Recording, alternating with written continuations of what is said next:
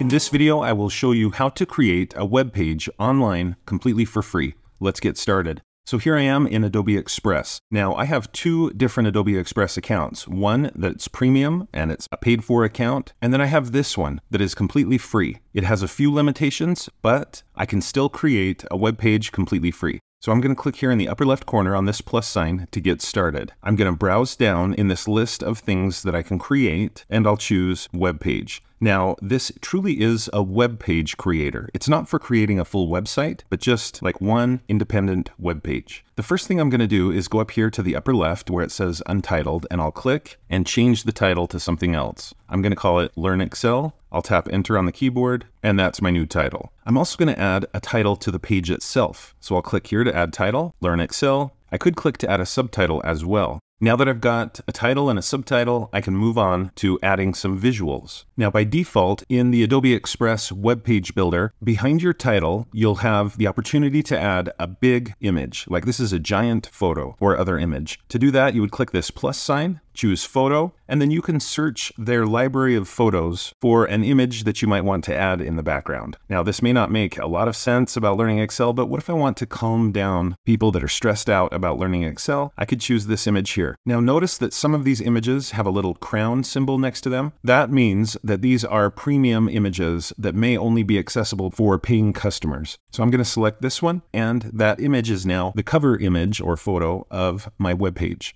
Now it is possible to choose to make this image not quite so huge. So you can click on the background that you've just added and choose short cover. And you could even click again to choose the focal point of that cover photo. So I'm gonna click and drag to move the focal point down a little bit so that the actual beach and the ocean are more visible. I can click save and that's now my cover image. Now, whether you choose to keep the big image or this smaller cover image, if you browse down the page, look what you get next. You get another plus sign. And if you browse far enough down, it'll pop up with eight different types of objects or items that you can add to your Adobe Express web page. I'm going to start with text. So I'll click here and I get a flashing cursor and I can click and start typing. So I'm going to type something like this as the intro to this web page. Now, it would be nice if I could add a hyperlink here so that the viewers of the page can just click to go directly to my YouTube channel. Fortunately, that's pretty simple to do. So I can type, you can get started by visiting my channel homepage. And then I'll click and drag on the text that I want to turn into a hyperlink, and I get a pop-up here. Now notice the many options that we have for this pop-up. I can change my text to a heading if I want to, heading one or heading two. I can make this into like a quote from a famous person. That's the idea behind this. You can put in a clever or funny quote. I could use bullets or numbering if I want to. I can bold my text. I can italicize. I can also choose to left align or right align my paragraph, or I could center it. In this case though, this is the tool that I need. It's the link or hyperlink tool. So with these words highlighted, I could just click here on hyperlink and then add the link. I could copy paste it in, or I could just type it out in this text box and then click Save. So now I have a working hyperlink.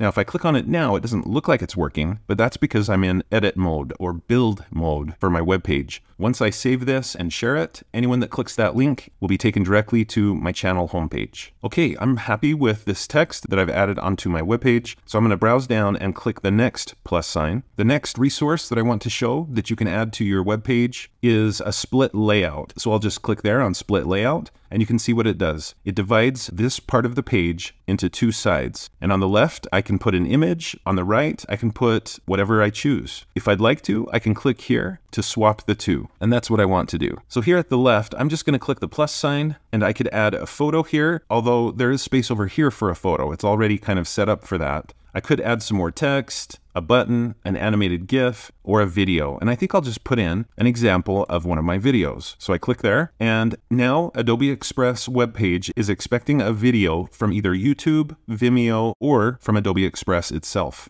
and you just copy paste in the URL for the video. So I've already copied the URL for the most watched Excel video in YouTube history. And I'm going to paste it in to this text box and click save. And I've just now embedded this YouTube video onto my Adobe Express webpage. Over here on the right, I will click to add an image. And this time, instead of searching for an image, I'm just going to X out of that. Instead, I'm going to upload from my own device. So when I click that, it opens up a pop-up and I can use that window to select, let's say my downloads, and I can select an image that's on my computer. Okay, now again, instead of adding a video and an image, I could have added any of these other objects onto my web page. I'm going to browse down and look, I get another plus sign. Again, I have the opportunity to add an animated GIF if I want to. The animated GIF needs to come from Giphy.com. So I could click here to open a new tab. I could do a search on Giphy for Excel. This one looks good. I'll just click on it, click share and copy GIF link. And then back in Adobe Express web page, I can click and paste in that URL, click save. And now I've got a nice animated GIF.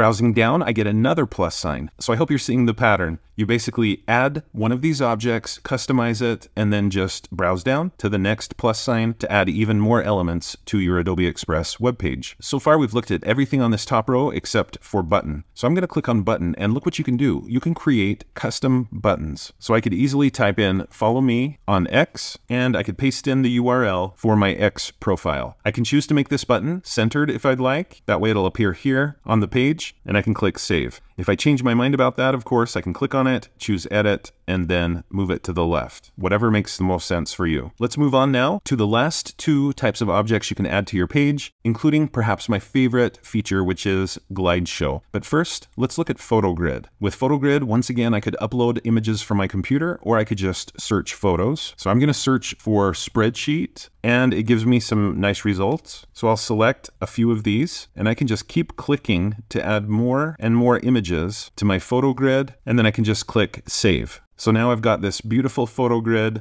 For some of you, this might seem like a nightmare, all of these spreadsheets, but those of you that know Excel, this is beautiful and exciting for you. Okay, now let's browse down and take a look at Glide Show. This is truly one of the best features, maybe the best, in Adobe Express page. The way this works is similar to a photo grid. You're going to select several images, but this time, instead of laying them out in a grid format, Adobe Express page is going to layer them one on top of another and then the viewer will be able to glide through one image and into the next. So I could just select some of these same images, and you can see that they're listed in the order in which I click on them. If you choose to, though, you can reorder them using these buttons. When you're done, just click Save, and the first image is what you see at the beginning. But as you browse down the page, it zooms in on that image and then it fades into the next image and the next and the next. Now you'll notice that there is a rectangle moving up the screen as I scroll down. What is that? What that is, is it's an opportunity for you to add extra information onto your glide show. So I could click here on the plus sign and add any of these five objects that you've already learned in this video, but I could add them in a kind of picture-in-picture -picture type of way. So I could add another photo so that as the viewer browses down down the page, they see another photo. Let's delete that because I want you to see that you can also add some text, almost like a caption for the photo. You can add a button, a video, just some really good options that you have here. Now I'm going to browse down to the bottom of this glide show and add a second example. Instead of spreadsheets, I'm just going to search for fields. I think glide shows work, in my opinion, better with some images than others, and I think spreadsheets may not be the best possible example. So if I click save, look at this. As I browse down, it feeds from one field to the next, to the next,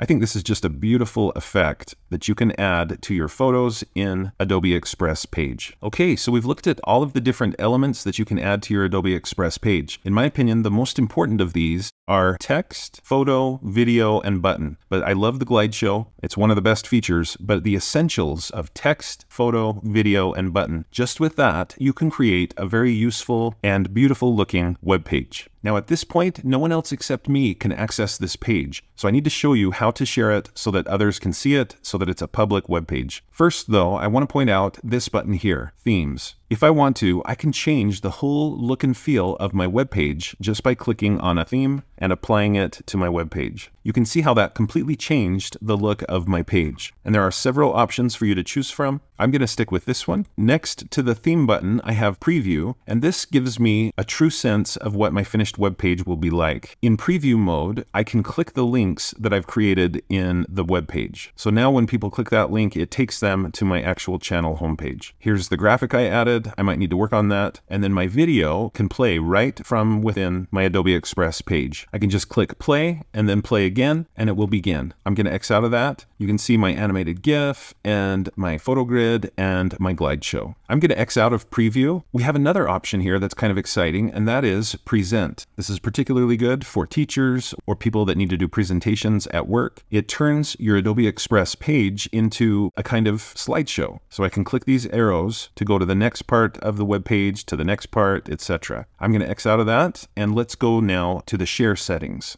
When I click share, there are a couple of exciting options. One would be to invite someone to collaborate with you on your web page so you can work together to develop it. If you want to change the settings and how that works, you can click this drop down and change the options and then just copy the link and you can send that to people so that they can help you continue to develop your web page. In addition to invite collaborators, we can publish to the web. I've got my title, I can put in credits if I want. I can choose whether or not to display the author name. I'm going to turn that off and click Create Link. And now Adobe Express page is publishing the project. It's combining all of these different elements into one public web page, and I can just click copy to get the URL for that page. Now it's a long URL. It's not, you know, super catchy and easy for people to remember, but you of course could use a URL shortener like Bitly or many others that are out there to shorten that down to make it easier for people to type. You can also publish the page right to your Facebook page, X, LinkedIn, you can email your page, and it's even possible to embed this page into something else, like a learning management system or another web page. So there are some really exciting options and powerful tools for you to use as you build your Adobe Express page completely for free. So I've succeeded in building my web page and publishing it, and I'm done with building it for now. Adobe Express automatically saves your work, so all I have to do is click here on the A, the Adobe symbol in the upper left corner, and I've backed out of my web page. I can get back to it at any time though by going down here to recent and clicking on the web page to open it up and work on it some more. If you found this video to be helpful and would like to